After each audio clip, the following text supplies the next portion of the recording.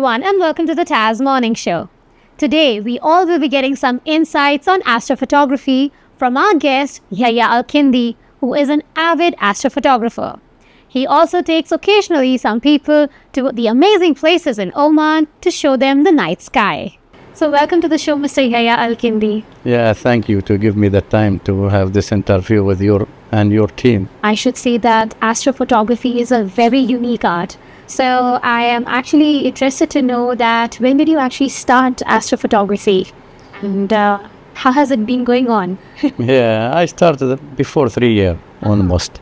I go one day a trip with some astrophotography to Masirah Island, and Masirah, you know, is far away from the light pollution, and they, I see the really nice sky there in Masirah, and I'm thinking I need to start like him and I start. This is the my first moment to see the really night sky in Oman.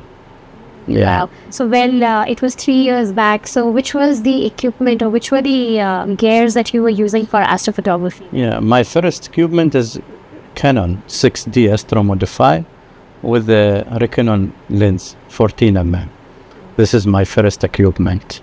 Nice. And uh, now, since you have been doing astrophotography for three years, which are your equipments that you're using? Yeah, I'm sure there must be a lot. Absolutely, I upgrade my equipment. Now I have almost uh, three camera and a lot of lens, and I have some sky tracker, sky hunter, and I have some slider for the motion for the night sky, especially all this equipment for the night sky, and a lot of thing I buy it for upgrade my work in astrophotography. Nice, nice. So, well, in uh, astrophotography, you must have had amazing uh, moments, right? You must have taken some really beautiful pictures. So, till now, which was your favorite moment? I'm sure there must be two, three favorite moments. So, which has been your favorite? Yeah, every time we go to every, for uh, astrophotography, after we finish our trip, we see our photo, it will be vibrant. But the vibrant, vibrant moment when we take the photo for the green light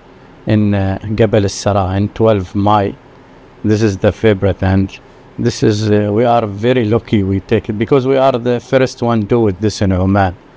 Yeah, we still remember that night.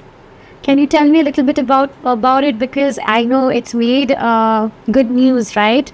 That uh, the green lights are visible in Oman. So, uh, how did that whole thing happen? Like, yeah, at, at that day we are not planning to go to take a photo for the green light because it is almost as possible to see it in Oman.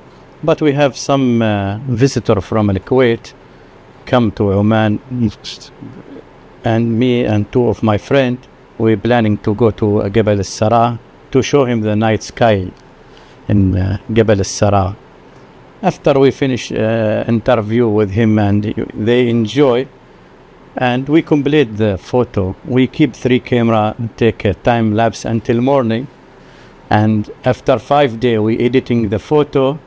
We see there is uh, some pink light come at 12:40 uh, p.m and from three cameras the same light is coming. Uh, we are thinking this is the green light. And uh, we discussed with the special person in Oman and he sent the photo to the NASA and the NASA asked for asked from him the equipment and the location and the time. We give him everything and the NASA say yes this is the green light must have been an amazing moment right? yeah this is the amazing moment wow. I'm so I'm so glad to know that in that uh, context, I would like to know that which are your favorite spots in Oman to actually uh, click pictures? Yeah, we have in the summer we go to the mountain because um, the weather condition in the mountain in the summer it will be cold.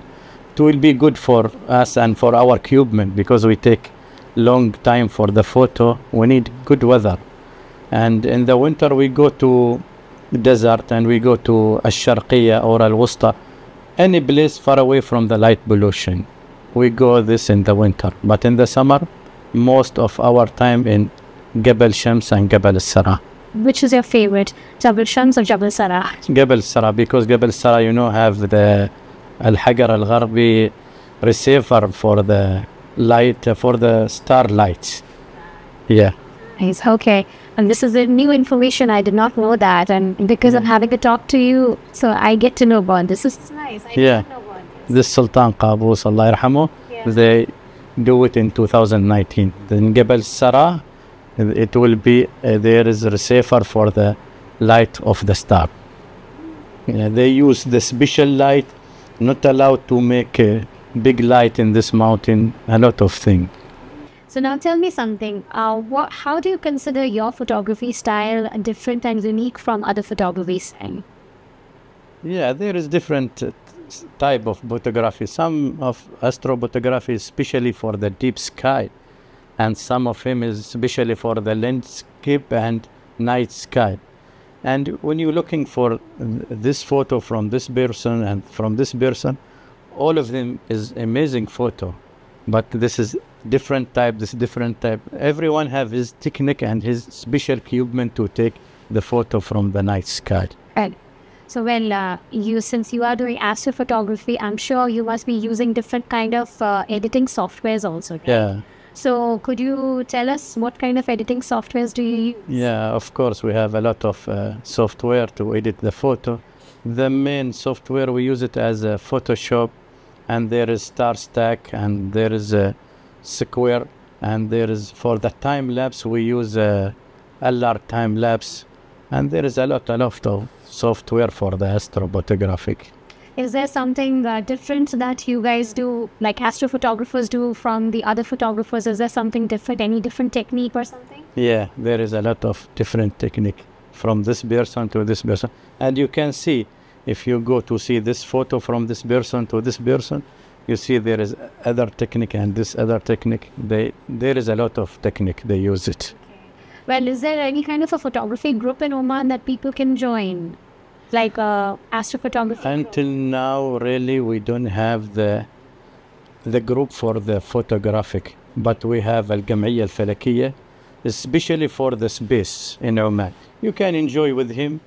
They will teach you how to take the photo. Uh, as remember, he's aspiring not big amount if you need to be remember with him, but you will take a lot of things from him. They have special telescope, special equipment, and uh, they do sometimes they do some interpretation and they do uh, traveling to the mountain to take photo. Is there anything that you could advise our viewers who want to start uh, astrophotography? How can they start, and you know, uh, what can they do to improve their? Yeah, everybody can be astrophotography. Only bring bring his camera.